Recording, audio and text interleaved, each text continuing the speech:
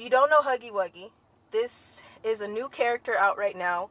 A character that La Police Department has already warned parents to monitor their children um, if they're watching this cartoon or this puppet, uh, this person in a game, because this this thing, this big blue bear with really scary teeth, is telling children of all ages, down to five years old, to hurt their parents.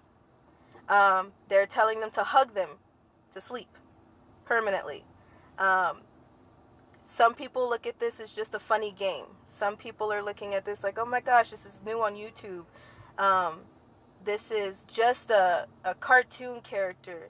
This is just something that the generations has has evolved, and now this is a new character. I want you to think about all the other new characters. Look up Huggy Wuggy. If you don't know who this is right now, and you're sitting close to a computer, it would be great if you go to Telegram because they're already posting who this is.